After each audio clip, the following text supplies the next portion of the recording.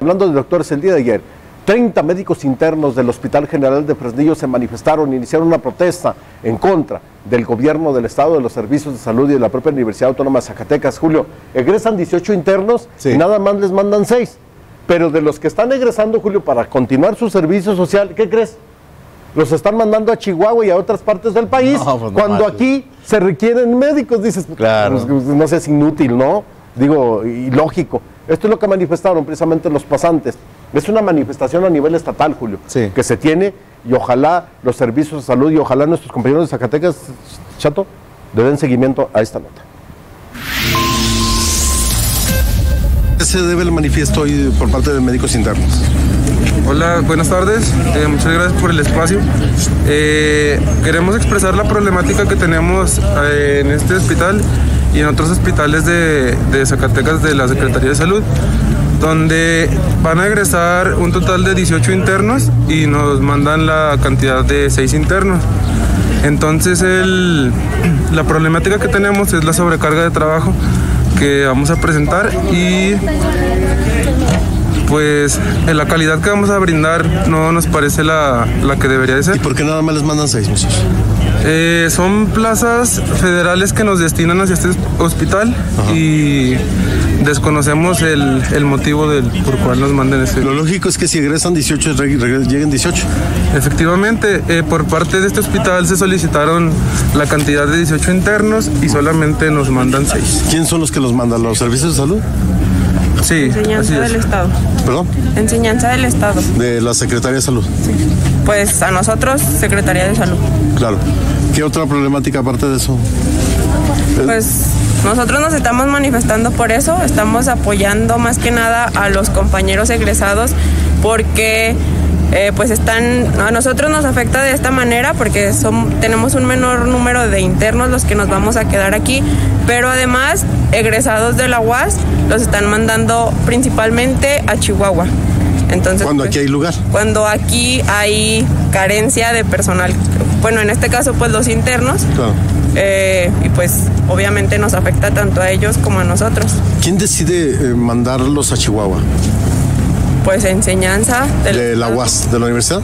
Es- pues es que principalmente es de la UAS, es, eh, porque son los estudiantes que se están manifestando, porque son los más afectados de que los envíen a otros lugares. Por ejemplo, de la Universidad de Durango, eh, hay algunos que salen del estado, pero, pero pues es mínimo y los lugares no son tan lejanos. Actualmente, ¿cuántos internos hay eh, en este hospital, en este nosocomio? Somos 23, eh, 30 y... 23. ¿Alrededor de 40? Sí. 40. Ahora, de acuerdo a la normatividad, este, la capacidad de médicos, yo sé que hay ya contratados y todo eso, pero es, es directamente proporcional a la necesidad y la demanda de, de pacientes, de acuerdo a las normas oficiales.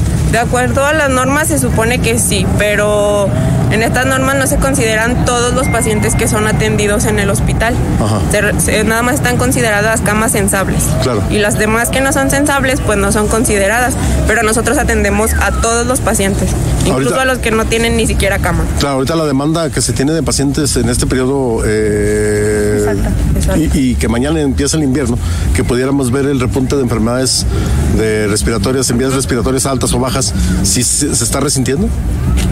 Sí, por ejemplo, en servicios como pediatría, en esta temporada, pues los pacientes son muchos, son bastantes. Y los internos son, van a ser menos, pues. Sí.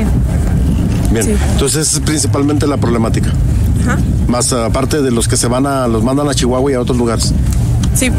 Ahora, ¿ya hablaron ustedes con algunos directivos de aquí de la, del nosocomio? O, o- Eh, sí, nosotros este, para hacer esta manifestación y pues lo que hemos estado haciendo anteriormente, hemos plasmado en oficios, o sea, no lo estamos haciendo así nada más, hemos plasmado en oficios, pues por qué lo estamos haciendo, estamos expresando pues todo realmente como de la manera que nos y todo.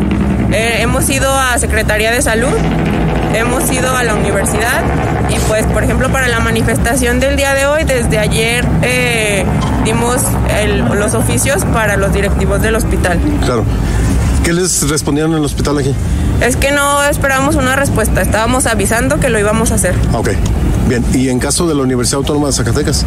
No, eh, no tenemos una respuesta realmente. ¿Dependen directamente de la Escuela de Medicina en cuanto a la determinación de cuántos internos les mandan o los mandan fuera? Depende de más del área estatal, La área estatal, ok. de la Secretaría de Salud. Bien. ¿Qué tanto tiempo van a durar con este manifiesto? Pues es que estamos esperando respuestas, depende de cómo nos vayan respondiendo, vamos a pues vamos a manifestarnos. Por ejemplo, empezamos con eso, haciendo la solicitud de manera escrita, Claro, mediante formal. oficios.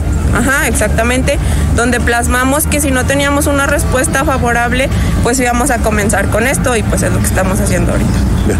¿Algo que quieran El, acotar? el día de ayer empezamos nuestro manifiesto trabajando bajo protesta en nuestros servicios que nos corresponden a cada quien. Claro. Esta problemática es una, bueno, es un problema que se tiene a nivel estatal. No solamente nuestro hospital tiene, tiene estos problemas, es el Hospital General de Zacatecas, el Hospital de Jerez y en todo el estado está esta problemática. Bien, ahora, bueno, cambiando un poquito de tema, en cuanto a insumos, medicamentos y todo eso, ¿el hospital está abasto de eso? ¿O si están batallando? Bueno, ese es un tema externo a lo que Sí. estamos manifestando ahorita. Eso es solamente el personal por parte de los médicos internos. realmente nosotros de, sobre eso no, Sí, bueno. Conocemos los datos. Ok.